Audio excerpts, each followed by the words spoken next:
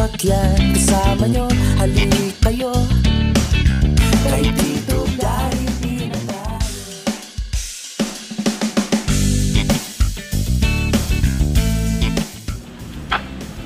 I-share ko naman sa inyo yung gawang seatmate naman seatmate naman.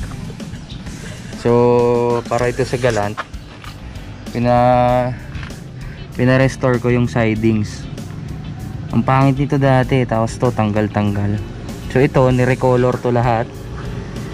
Nirecolor yan. Ayun o pansinin nyo ganda na yung kulay.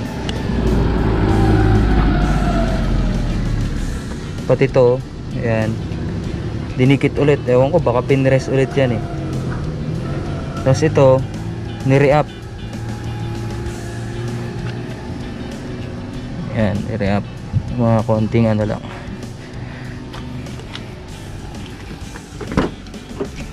ayan. Re-up and recolor. Ibinagay niya dito. Ilapit niya. Ayan dun sa kabila. O, diba? Parang bago na.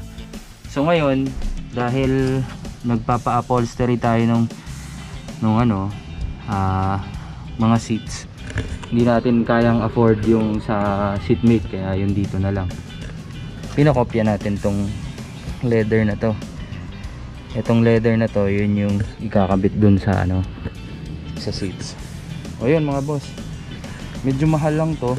Nasa 14,000 kasama na yung recolor re-up at saka ah, restore. So nira, ano, ano to? Dinikit ulit yan so kung gusto nyong mag restore ng sidings ng galan pwede. So siguro yung question kung pwede ba i-restore yung siding pwede. Yun lang medyo mahal lang ng konti. Kasi iba naman to kaysa sa backstyle nagpa-re-up din ako dito. So re-up hindi seat cover. Kasi sayang naman yung pagka top of the line nya yan tinanggal na yung mga upuan. Yan kasi kung seat cover ito lang din yan sayang. Yan o binayan yata ito ng Mickey Mouse. Ang maganda rito okay na okay pa yung body nya malang dito yung registro so okay na to dito. Di ba? Nice namin